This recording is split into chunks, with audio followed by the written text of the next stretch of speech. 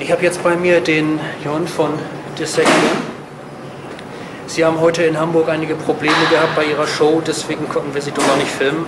Uh, Jon, can you tell us exactly what uh, problems you had today in Hamburg with your show?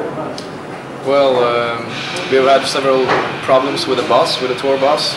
It's Yeah. broke broke down a couple of times, and um on top of that, also uh, our guitarist Johan Norman became sick today, so we played uh, without him. But uh, I think the gig turned out great in a way. It was a very good show and great audience here. Was the first time for you that you played with one guitarist only, or had you experienced something like that before? No, uh, it's the first uh, time we played live uh, as a three-piece, you know, with one guitar. We started out as a three-piece, but, but we only had uh, maybe uh, few gigs in the beginning, and then we had a session guitarist too. So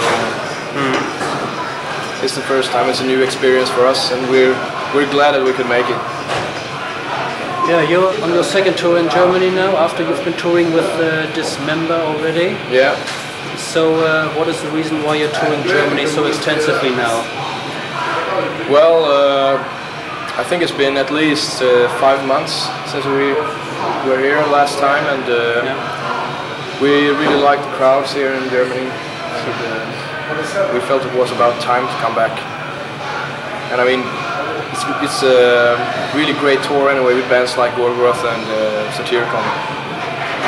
So that's basically why. And your uh, new album, Storm of the Light's Bane, is uh, going well? Yeah, it's going actually uh, very well for us.